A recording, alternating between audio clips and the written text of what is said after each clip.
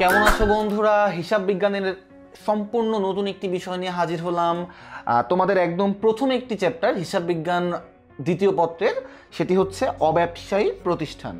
তো প্রথমত আমরা এই চ্যাপ্টারে যে বিষয়টি নিয়ে আলোচনা করব সেটি হচ্ছে অব্যবসায়ী প্রতিষ্ঠানের হিসাবগুলো কীরকম? অব্যবসায়ী প্রতিষ্ঠানের মুনাফা হয় কি না যদি মুনাফা হয়ে থাকে, তবে তার লাভ ক্ষতি বন্টন হিসাবটা কীরকম কিংবা লাভ ক্ষতির মেকানিজমটা কীরকম? উদ্বৃত্তপত্রের স্ট্রাকচারটা কীরকম? কীভাবে করতে হয়? এগুলো নিয়ে আলোচনা করব। তো প্রথমত আমাদেরকে তাহলে জানতে হবে অব্যবসায়ী প্রতিষ্ঠান, এই ব্যাপারটি ঠিক কীরকম? দেখো, এখানে একটি বাক্য লেখা আছে নট ইন্টারেস্টেড ইন প্রফিট এর মানে কি?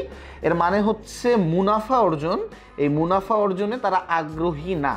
অর্থাৎ অব্যবসায়ী প্রতিষ্ঠানের উদ্দেশ্য, মুখ্য উদ্দেশ্য মুনাফা অর্জন না। তবে কি? দেখো, এখানে লেখাই আছে কি? জনকল্যাণের উদ্দেশ্যে পরিচালিত হয়। তাহলে অব্যবসায়ী প্রতিষ্ঠানের মুখ্য উদ্দেশ্য জনকল্যাণ।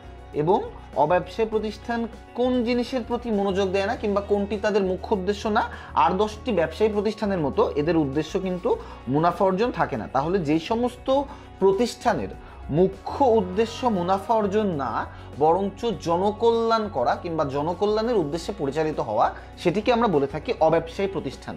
এখন এখানে দেখো আরও কিছু বৈশিষ্ট্য লেখা আছে। কি কি?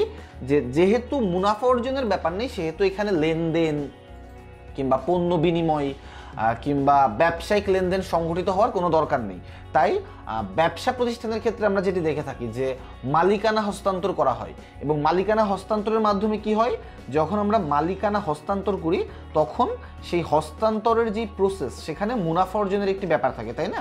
কিন্তু যেহেতু এই যে অব্যবসায়ী প্রতিষ্ঠান, এরা মুনাফা অর্জন করে না, তাই মালিকানা হস্তান্তর, পণ্য ক্রয় বিক্রয় এই ধরনের কার্যক্রমগুলোর কোনো দরকার পড়ে না। এবং তৃতীয়ত যেটি, সেটি হচ্ছে যে এই অব্যবসায়ী প্রতিষ্ঠান এরা কিন্তু কোনো ধরনের ব্যবসায়িক লেনদেন, এই ব্যবসায়িক লেনদেনে এরা লিপিবদ্ধ হয় না।